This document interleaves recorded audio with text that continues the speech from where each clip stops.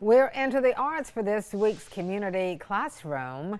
A teacher at Williams Township Elementary in Whiteville is hoping you'll consider making a donation to her Donors Choose project. Donors Choose is an online charity that helps teachers get funding for school supplies. Kathy Butler would like to use art to help her pre-K through second grade students take their learning to the next level.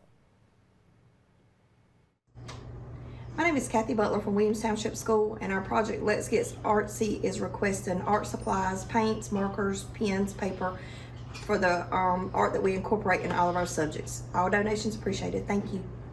Ms. Butler needs a little over $400, $404 to be exact. Once she is fully funded, Donors Choose will buy the art supplies and deliver them to the school.